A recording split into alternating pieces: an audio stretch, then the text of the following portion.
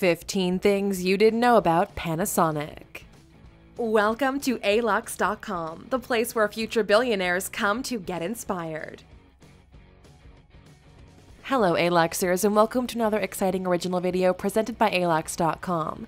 Today we're revealing some interesting and surprising facts about one of the most successful Japanese electronics companies ever, Panasonic.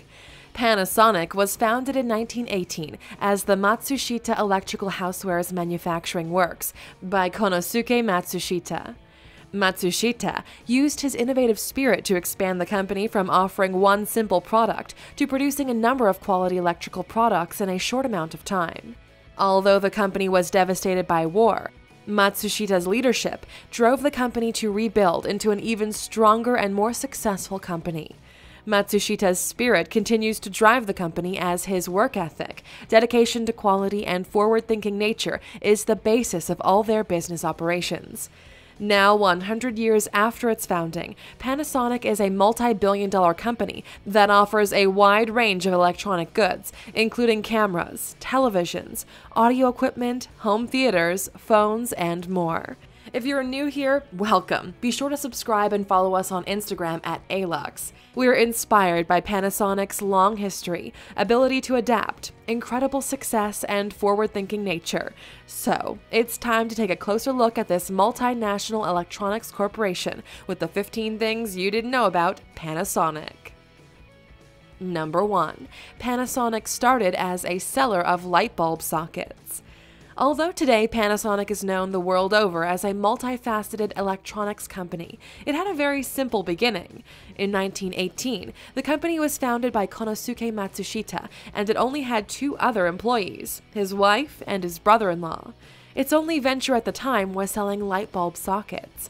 In 1927, production expanded into bicycle pumps, followed by light fixtures, motors, electric irons, and vacuum tubes. Number 2. Panasonic built ships and airplanes in World War II. During the Second World War, Panasonic switched their focus to supporting the war effort. This led to Panasonic setting up shipbuilding and plane building sectors, but it proved to be difficult since nobody at the company had any experience in these areas. However, they did successfully produce 56 wooden ships and 3 wooden aircraft during the war. However, Panasonic suffered many losses during the war, including 32 factory and office facilities and about 11,000 staff members. Number 3. The company was not called Panasonic until 2008. Panasonic was called the Matsushita Electrical Industrial Company from 1935 to October 2008. Panasonic was first used as a brand name in 1955 for audio speakers. The Panasonic name was created out of a combination of the words pan and sonic, which the company says has the meaning of bringing the sound the company creates to the world. Number 4. Panasonic and Tesla are business partners. In July 2014, Panasonic announced that it had made an agreement with Tesla to participate in a massive battery plant called the Gigafactory that Tesla plans to build in the US by 2020. The plan is estimated to cost $5 billion, and it's expected that it will result in reducing Tesla's battery costs by 30%. Panasonic announced its initial investment in Tesla Motors' battery factory would amount to tens of billions of yen. Number 5. Universal Studios once belonged to Panasonic. In 1990, Panasonic purchased an American media company called the Music Corporation of America, or MCA, for $6.59 billion. Five years later, 80% of MCA was sold to Seagram Company for $7 billion, and the name was changed to Universal Studios. Today, Universal Studios is a part of NBC Universal, which is owned by Comcast. Number 6. Panasonic is one of the biggest supporters of the Olympic Games. Panasonic has been one of the top sponsors of the Olympic Games ever since the 1988 Calgary Olympics. In 2008, Panasonic's HD equipment made the first Olympic Games with full HD official coverage possible. At the 2016 Rio Games, Panasonic provided 115 projectors, which were used during the opening ceremony. They also provided 10,000 surveillance cameras and various broadcasting equipment for the Sochi 2014 Winter Games. These are just very small samples of everything Panasonic does to support the Olympics. Number 7. They first expanded to the US market in 1961. Konosuke Matsushita traveled to the United States for the first time in 1961, and he had a very successful trip where he met with the American dealers and established agreements that would allow his move to the US market. The company began producing television sets for the US market shortly after, under the brand name Panasonic, and later on, starting in 1979, Panasonic TVs were sold in Europe as well. The company sold products under the national brand outside of North America from the 1950s to the 1970s. However, National could not be used to sell products in the US due to the existence of the National Radio Company. Number 8. The Panasonic Toughbook claims 50% of the rugged laptop market. Toughbook is a brand name owned by Panasonic that refers to its line of rugged computers. The Toughbook is designed to withstand vibrations, spills, drops, extreme temperatures, and rough handling. Toughbooks are widely used in a variety of industries, including military, construction, healthcare, law enforcement, manufacturing, oil, and emergency services.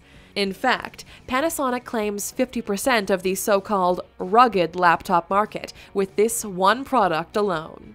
Number 9. Panasonic built the world's largest high def LED screen. Panasonic built the largest high definition television LED screen at the Texas Motor Speedway in Fort Worth, Texas in 2014. The world record breaking screen is 20,614 square feet with display dimensions of 94.5 feet by 218.4 feet. The video board's nickname is the Big Hoss TV, and it consists of nearly 4.8 million pixels and displays 281 trillion colors. It's actually bigger than two jumbo jets put together. The screen is used to display live race coverage, leaderboard information, instant replays, and interactive entertainment. Number 10. Panasonic invented a tomato harvesting robot. Panasonic's newest robot was introduced in December 2017 at the Robot Exhibition in Tokyo. The robot has been designed to use its camera, range image sensor, and artificial intelligence to only pick soon to be ripe tomatoes that are ready for harvesting. This task was previously thought to be too delicate for a robot to handle without damaging the sensitive fruit or picking up undesirable tomatoes, but the Panasonic robot proved it was up to the task. Panasonic also claims it can match human efficiency by harvesting 10 tomatoes every minute. If you're interested in robots, be sure to click in the upper right hand corner to watch our video of the 10 most expensive robots in the world. Number 11. Panasonic is the 97th most valuable brand in the world.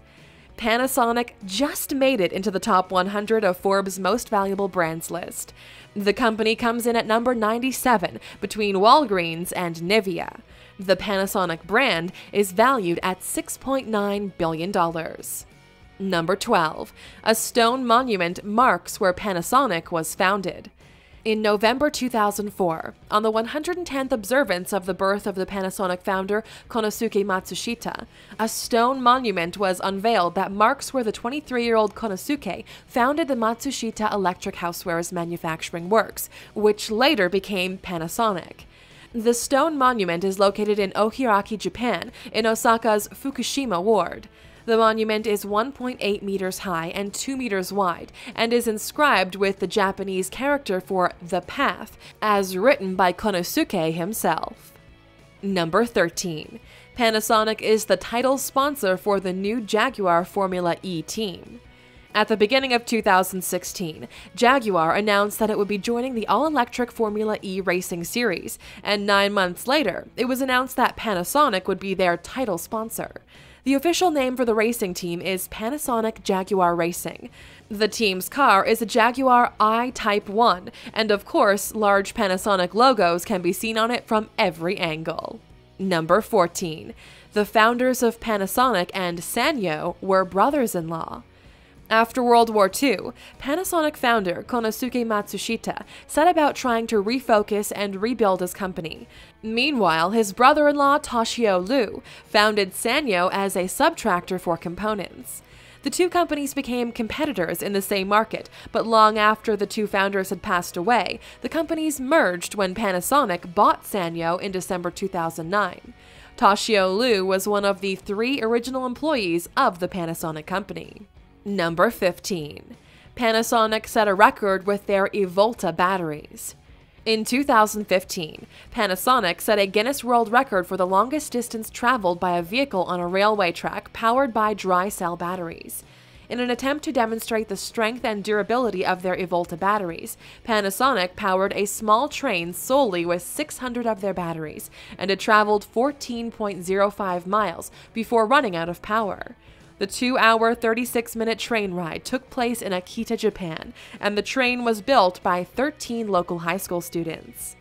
Now that you've learned some more about Panasonic, we'd like to know do you think the company will experience more success or less success in the coming years in the fast paced electronics industry they find themselves in? Let us know what you think in the comments. Still here? Here's a bonus fact just for you. In 2014, in an effort to attract more workers to its Chinese operations, Panasonic offered to pay expats hazard pay to compensate for the chronic air pollution they are subjected to as they work in the heavily polluted environment. China has the world's worst air pollution, with over 3 million deaths per year being attributed to the toxic air. Thank you for spending some time with us, Aluxers. Make sure to like and subscribe so you never miss another video. We also handpicked these videos, which we recommend you watch next. Thank you for being an Aluxer, and we'll see you back tomorrow.